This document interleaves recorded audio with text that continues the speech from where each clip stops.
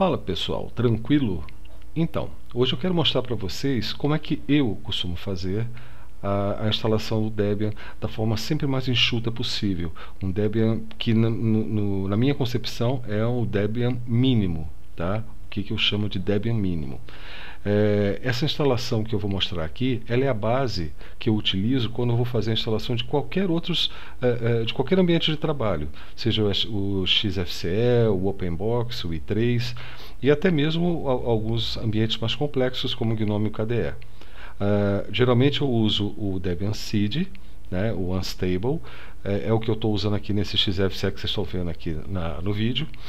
É, mas eu tenho trabalhado num projetinho que depois vocês vão ficar sabendo mais sobre ele. É, então eu também tenho trabalhado bastante, pelo menos simulado bastante aqui na máquina virtual, a instalação do Debian Buster. Tá legal? E é ele que nós vamos ver hoje. Tá? É essa instalação que nós vamos ver hoje. Ele que vai fazer a base dos sistemas que a gente vai instalar nos próximos vídeos. Tá legal? Então vamos começar. Eu já criei aqui a, a, máquina virtual onde eu vou rodar o, o Debian Buster, o, o, instalador do Debian Buster. Já baixei a ISO. Eu baixo a ISO, é, nesse caso aqui, a ISO non free. Eu vou deixar o link aqui na, nos comentários, ou desculpe, na descrição do vídeo. E, e por que, que eu escolho o, o non free? Porque quando eu faço a instalação nas máquinas reais, né? Normalmente é notebook sem conexão é, com cabo de rede, é, pelo Wi-Fi. E se eu não puser o, o, a imagem não free, eu não tenho como conectar esse Wi-Fi. Tá? Isso é um problema muito comum para quem tem notebooks, tem, quem tem portáteis em geral. Tá? Então eu baixo sempre essa ISO firmware, né? neste site aqui que é, é, é das, da, das, imagens não oficiais do Debian. Mas esse procedimento serve também para a imagem oficial do Buster, tá? desde que ela seja a, a, a imagem netinstall ou netinst, tá legal? É, isso é importante, porque aqui a gente vai ter o controle da, do, que, do que vai ser instalado ou não por padrão no sistema básico, tá legal? Bom, continuando Vou, aqui a minha máquina virtual já está pronta, já deixei, abaixei a ISO e eu vou começar. Vamos, vamos lá, vamos ver o que, que acontece. Uh, eu vou ter que informar o, o, o disco, porque ele está tá reclamando. E engraçado que eu pensei que ele fosse me perguntar isso agora. Tá? Faz tempo que eu não uso o VirtualBox, porque ele saiu do, do repositório do Debian Buster. E deixa eu pegar aqui rapidinho selecionar uma imagem de disco, tá aqui ó, firmware 10.0 AMD64 NetInst. Então faz, tempo, eh, faz um tempinho que o, o VirtualBox saiu do, do repositório do Buster e eu tenho utilizado o que o pessoal do Debian está recomendando, que é o, o Virt Manager, que aliás é muito melhor do que o VirtualBox, tá? Cá entre nós. Qualquer hora eu mostro para vocês. Mas vamos lá, vamos reiniciar a máquina. Vamos ver se agora ele reconhece o, a ISO. Beleza, está aqui. Eu vou tentar, nessa primeira tela não, mas mais adiante vou tentar dar um zoom para ver se vocês enxergam melhor. Essa aqui ela vai ficar só por pouco tempo, é só para a gente escolher o install. Eu não gosto do gráfico install, não sei porque eu nunca me dei bem com ele, às vezes eu tenho até erros. Eu prefiro sempre o install essa opção install pura e simplesmente, porque ela, ela além de ser rápida, é, para mim ela é muito mais gostosa de utilizar. Me faz lembrar os primórdios das instalações lá em 2005, 2006, mas ela é muito prática e muito rápida. Vamos lá, install. Um, vamos esperar ele carregar. Aqui eu vou selecionar o idioma, isso aqui é padrão, tá? É, português do Brasil, território Brasil e teclado português brasileiro, tá? Facinho. Depois dizem que essa instalação é difícil, não tem nada de difícil aqui. É, ela pode assustar para quem tá, já, já, nasceu no mundo da, das interfaces gráficas, né? mas ela é bastante simples. E eu gosto de coisas simples, coisas objetivas, diretas. Ele está carregando alguns componentes básicos e já vai começar uma série de, de perguntas para mim. Primeiro, ó, tá, detectando a rede. Nesse ponto, se eu tivesse trabalhando com Wi-Fi, ele me perguntaria qual é o nome da minha da, do, da, da minha rede e a minha senha. Isso porque eu já estou com o firmware adequado, tá?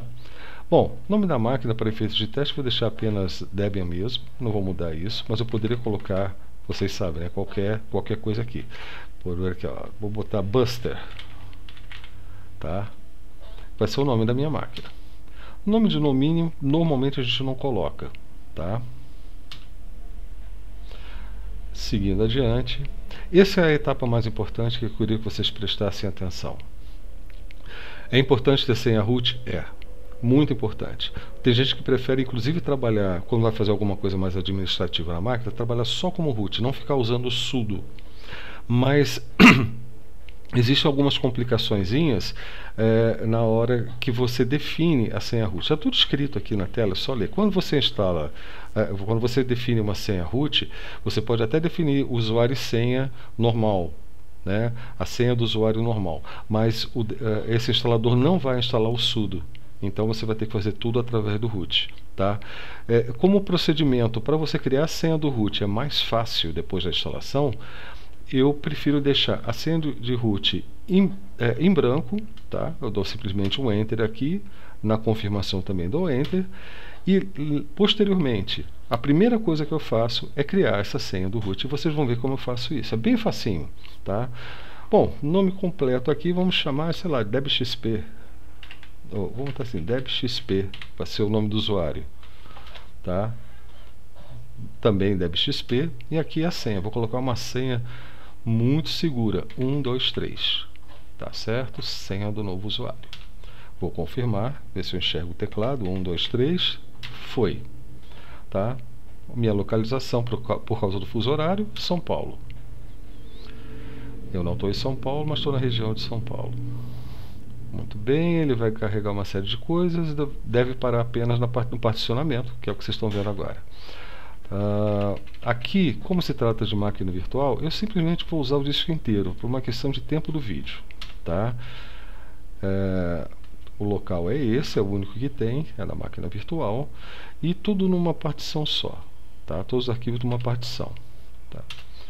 Não há necessidade de eu fazer partições mais complexas numa máquina virtual de demonstração, mas vocês fiquem à vontade para usar esse particionador.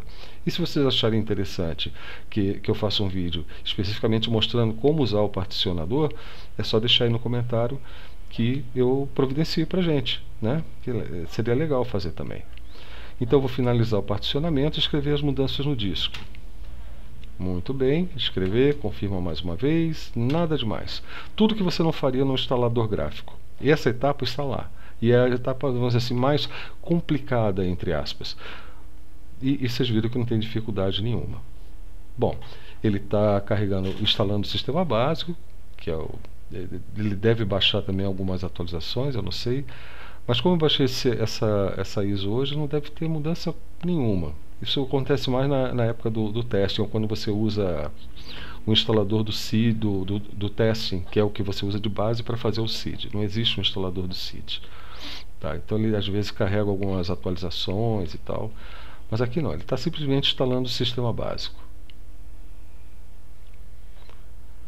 É, eu não vou nem pausar o vídeo porque essa instalação é tão rápida, principalmente quando você tem uma internet boa, que nem vale a pena é capaz de eu dar pause aqui e, e, no instante seguinte já terminar a instalação. Tá, tá descompactando uh, o kernel. O kernel.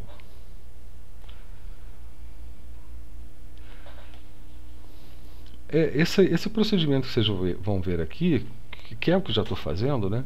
É, ele serve ele serve justamente para deixar a instalação bem enxuta. Eu, não quero uma interface gráfica no final dessa instalação. É, eu não quero nenhum, nenhum daqueles programas que ele sugere na seleção de, de, de, pacotes, vocês vão ver quando chegar na etapa. O que eu quero realmente é um sistema básico. A única coisa que eu vou colocar lá na frente, é, que para mim é interessante, principalmente quando eu estou com a máquina virtual, mas também, enfim, nas minhas máquinas reais é o, o OpenSSH, o servidor de SSH. Tá? é, porque é, é, mais fácil trabalhar pelo teclado via é, pelo, pelo terminal da minha máquina real via SSH acessando o HD do da máquina virtual do que naquele tecladinho naquela telinha miudinha da máquina virtual que não dá para enxergar nada né além do que eu vou poder copiar e colar trechos de código ou alguma coisa que eu queira fazer.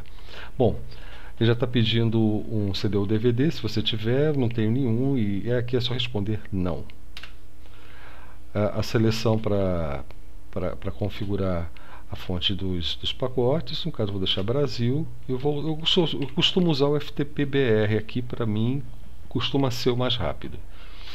Vou deixar FTP-BR, é, não, não tem proxy aqui, Enter, lendo o espelho, aí ele vai configurar o apt. Já estamos chegando na parte de seleção de pacotes. É, eu não estou controlando aqui o tempo, mas eu acho que, tirando a conversa, nós não temos nem 5 minutos de instalação.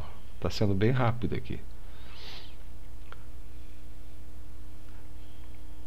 As atualizações. Não, não, direto, configurando apt. Aí vem a selecionar instalar software, ele vai baixar mais alguma coisa. Um arquivo.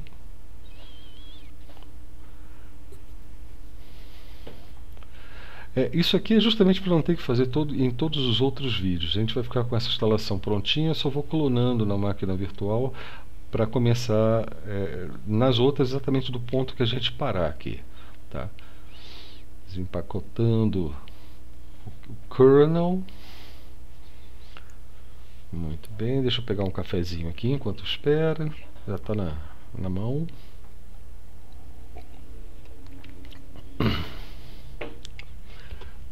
Desculpem.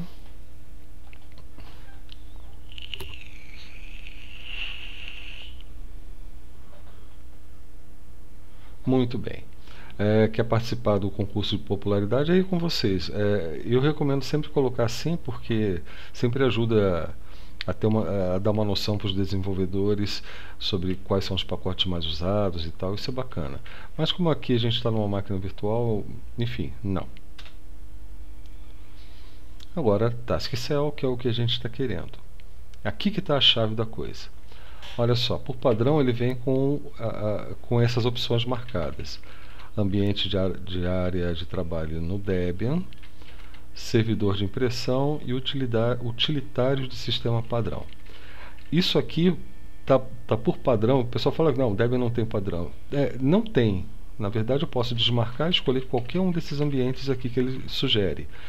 Mas esse que vem marcado padrão é exatamente o Gnome. Então, tem por padrão Gnome. Antes do, do Buster, eu não lembro do Stretch, porque eu já estava usando o Seed, eu nem cheguei a ver. Mas na época do GS, por exemplo, se eu deixasse isso marcado, era o XFCE que seria instalado. Tá? Então sempre tem um, um, um ambiente padrão. No caso, a gente vai usar a barra de espaço para marcar e desmarcar. Eu desmarquei. É, se eu tivesse uma máquina real, com uma impressora real aqui, ou até a máquina virtual mesmo, mas com uma impressora real, tudo bem, eu deixaria isso marcado. Mas não, não, não faz sentido para mim deixar isso. Então vai ficar mais leve ainda, porque eu nem tenho impressora. Servidor SSH, é o que me interessa. Como eu falei, eu posso, pelo terminal da minha máquina real, acessar a máquina virtual e fazer todo aquele procedimento na, do console muito mais, de uma forma muito mais prática e rápida. Então, eu deixo o servidor SSH. E também quando eu estou fazendo instalações, a máquina está muito. Pelo menos ela tem uma conexão na rede, mas está muito bruta. Às vezes eu preciso copiar e colar algumas coisas que eu já tenho em anotações. É muito mais fácil copiar e colar no meu terminal e isso, e, e isso ser executado na máquina remota. Né? Bem legal. Então o SSH para mim é importante. E utilitários do, do sistema padrão. É, na verdade seria utilitários, utilitários padrão do sistema. tá? Mas, enfim. Feita a configuração aqui, ó, só deixei esses dois marcados, eu vou dar um Tab para uh, deixar vermelhinho ali o continuar e eu vou dar Enter. Tem que tomar cuidado aqui, porque se você por acaso der Enter com alguma outra op é, é, opção, deixa eu dar um Tab aqui novamente, digamos que eu esteja aqui, né, aí eu dei o Enter, ele vai marcar e vai continuar, tá? Então é importante dar o Tab aqui para sair daquela listinha e aí sim você pode dar um Enter. Aí ele vai baixar aquela quantidade enorme de pacotes, 143 pacotes para instalar o Debian. Olha só, quanta coisa. E que já terminou de baixar praticamente, né? Você vê que é o sistema mínimo mesmo, tá? Existem outras formas de fazer isso, é, inclusive sem o instalador, tá? Você pode fazer isso a partir de uma é, é da sua máquina, por exemplo. Mas esse sistema aqui ele, ele é tão prático que torna desnecessário e você vai ter um resultado um pouquinho mais arrumadinho do que, o, do que se você fizesse na unha. Né? Mas para efeito de, de aprendizado, fazer na unha também é bem interessante. Qualquer hora a gente vai fazer isso ao vivo aqui também. Tá? Ah, já está terminando. Essa aqui, depois que vocês viram a, a, a, parte da senha do root e a parte da seleção de pacote, que são os únicos pontos críticos do, do meu sistema de instalação, o restante é com vocês, vocês podem fazer à vontade para ter o um mínimo, né, que eu quero dizer, né? Não, não é para ter o, o, sistema de acordo com o que vocês querem, é para ter um sistema mínimo. Esse é o objetivo, né? É, particionamento, idioma, qual, qual, qual é o endereço lá do, do, do servidor dos pacotes. Isso tanto faz. O que, o que é importante é não utilizar, não é, indicar, não configurar uma senha de root e deixar só aquelas duas opções no Task Cell na seleção de pacotes marcado. O resto é tranquilo. Já terminou, tá vendo? Já está pedindo para fazer a instalação do Groove.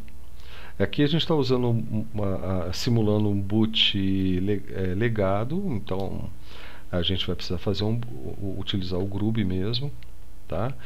É, no, na MBR e está aqui. Instalar carregador no, na, no registro mestre de instalação? Sim. Informar aqui o dispositivo, nós só temos o SDA mesmo, então lá vai ele. Tá? E esses detalhes não, não, não, for, é, é, não fazem parte do, do, do, contexto desse vídeo. Tá? Mas, eventualmente, tendo dúvidas e gente interessada, a gente faz uma, uma pesquisazinha e, e tenta simular algumas outras situações. Está completo. Deve ter levado aqui, eu vou ver depois, né, mas deve ter levado no máximo uns 12 minutos esse processo inteiro de instalação. Vamos continuar. Ele vai dar o reboot. Tá lá, reboot. Já tenho aqui o meu Groove. Vamos entrar no, na minha nova instalação do Debian New Linux. Vai apresentar um errinho por causa do, do vídeo do, da máquina virtual, esse errinho aí, mas fora isso, tranquilo. Tá aí. Qual foi o nome mesmo que eu dei para o usuário? Assim, esse. Cada hora eu dou um nome, acabo esquecendo. A minha senha, 1, 2, 3. Está aqui, já estou com o Debian mínimo instalado. Eu vou tentar agora é, fazer um zoom aqui para vocês enxergar, enxergarem. Vamos botar aqui, zoom de 150. É, ficou bom. Está meio, tá meio fora aqui da, dos limites, mas é o suficiente para mostrar a última etapa as duas últimas etapas uh, antes da gente encerrar, que seriam basicamente o que? Primeiro vou criar a senha do root. Lembra que eu não marquei. Então, sudo tá, opa, dislexia. passwd, passwd password, né? E root. Pô. Minha senha é o que ele está pedindo, então é 1, 2, 3 e a nova senha que, tá, que ele está falando ali é a senha do próprio root. Então, o dele vai ser 456 para ficar diferente da minha. Redigitar 456. Pronto. Senha atualizada com sucesso. Agora eu tenho senha de root. Para testar isso, não podemos esquecer que para entrar como root, não é? para mudar para o usuário root, a gente usa SU tracinho. Tá? Essa opção do tracinho aqui, ela é obrigatória, principalmente agora, né, depois do Debian Buster. vai pedir a senha 456. Tá aí, root buster, certo? Para sair, exit. Eu não gosto de trabalhar como root porque, como vocês viram, eu sou péssimo no teclado. É, apesar de digitar o dia inteiro, mas principalmente aqui no escuro da noite fica bem mais complicado para mim. Então eu vou usar o sudo mesmo e assim o risco de cometer erros é bem menor. Porque eu quero editar, então ó, nano, vou editar usando o editor nano o sources list, sources list. Então é barra etc barra apt sources list. Porque aqui eu vou fazer só algumas modificações. Vou dar o Ctrl K para eliminar essas linhas comentadas todas, que elas não me interessam. Menos uma ali que vou deixar como está. Então, Ctrl K. Beleza. Eu gosto de fazer anotações no, no source list. Então vai, aqui é Buster, tá? Aqui é o Security Updates. Então é, eu sempre coloco assim para para ficar organizadinho. Buster Security Updates. E aqui Buster Updates. É, eu vou sempre só deixar o Buster Updates ali. Ok. Ok. Por que, que eu vou editar aqui? Eu gosto de deixar habilitado, mesmo que eu não, que eu não utilize, eu gosto de deixar habilitado uh, habilitados os repositórios contrib e não free também. Então eu vou escrever aqui, ó, contrib não free. Eventualmente para um teste, alguma coisa que eu queira experimentar, então já deixo habilitado. Contrib não free. Uh, tirando firmware, que nem todo, nem todo firmware tem, tem solução, e se você vai utilizar firmware, isso aqui tem que estar habilitado obrigatoriamente. Uh, mas tirando o firmware, uh, eu tem, tem dois programinhas que eu utilizo que são do non-free, se não me engano, do Contrib não, acho que eles são do non-free mesmo, que é o RAR e o UNRAR, porque alguns alguns programas exigem exatamente esses pacotes para descompactar uh, arquivos. Então, mas se eu não, quando eu não uso esse, esses programas, eu não preciso deles. Então, basicamente, o que eu estou usando é o repositório main mesmo do, do Debian, o repositório livre, tá? E ele é sempre mais recomendável, por vários motivos, né? De filosóficos a técnicos, eles são mais recomendáveis. Tá? Mas esses dois aqui, eles não são totalmente maus, né? eles não são mal na face da Terra totalmente, tá bom? Bom, feita a modificação, salvar, Ctrl S e Ctrl X. Deve estar tá dando alguma mensagem aqui, mas eu não estou vendo por causa da... Ah, já saiu, tá vendo? É que está aqui embaixo. Vou dar um Ctrl L. E a partir desse ponto, tudo que eu fizer vai ser justamente para começar as instalações. Então, por aqui que a gente vai parar e até o próximo vídeo.